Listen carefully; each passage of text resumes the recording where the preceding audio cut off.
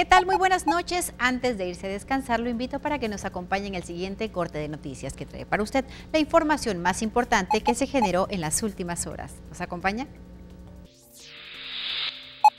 La Secretaría de Salud refuerza el operativo para la prevención y control del dengue y chikungunya, así como las enfermedades gastrointestinales antes, durante y posterior al periodo vacacional. Mujeres y hombres centroamericanos de países como Honduras, Salvador, Guatemala y Costa Rica participan en el Via Crucis Migrante Fronteras Aliadas, que salió de Suchiate y arribó a Arriaga. Mujeres en Chiapas que se dedican al trabajo en el hogar conforman la organización Mujeres Trabajadoras Emprendedoras Construyendo un Sueño para mejorar sus condiciones laborales.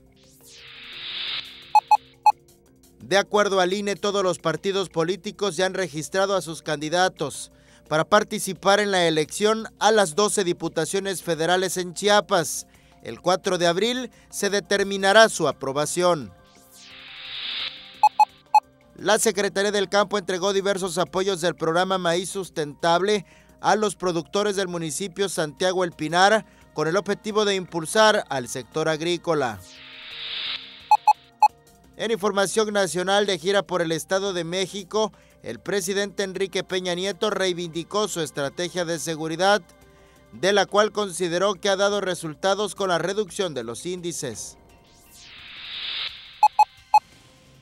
En los deportes, los jaguares de Chiapas continúan preparándose para el juego del próximo sábado, cuando reciban a los Tuzos del Pachuca, en la cancha del SOC en punto de las 19 horas.